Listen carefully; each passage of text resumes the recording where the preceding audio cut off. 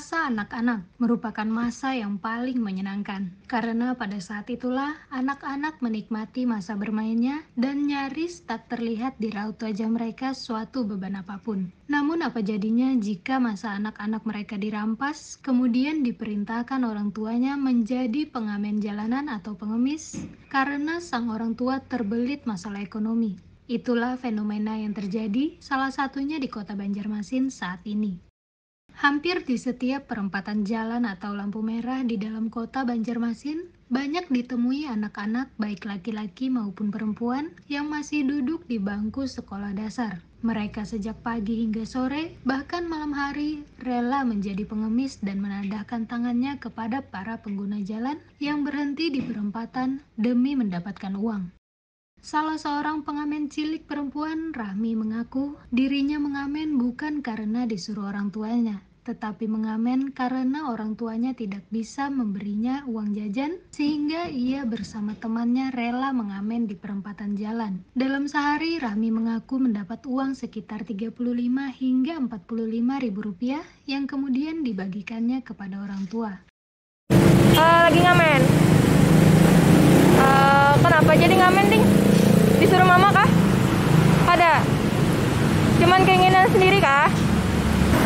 Ini kan di mama lah uh, cari duit kayak ini. Ada.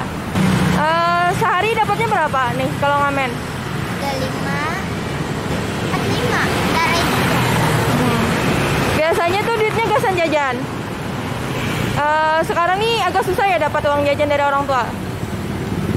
Uh, orang tua kerjanya apa? Um, eh orang. Uh, betul apa soal tadi lo? Uh, abahnya? Kalau kerja. Ini sekalian bantu orang tua juga. Jadi uangnya itu dibagi sama orang tua juga.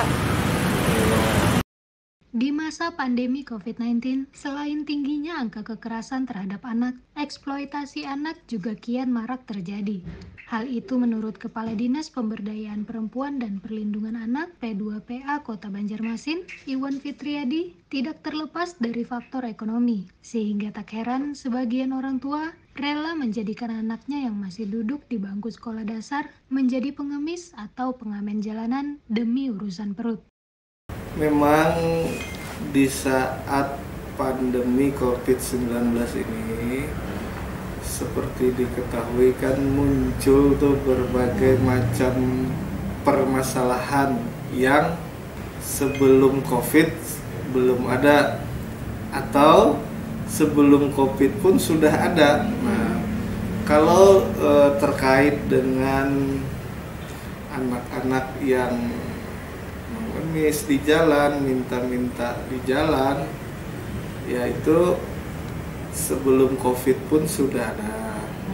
Karena beginilah persoalan bahwa apa namanya eh, anak-anak eh, yang dipekerjakan bisa disilahkan dipekerjakan seperti itu ini kan harus kita pahami sebagian besar meskipun tidak semuanya sebagian besar itu kan karena tuntutan perut ya persoalan ekonomi.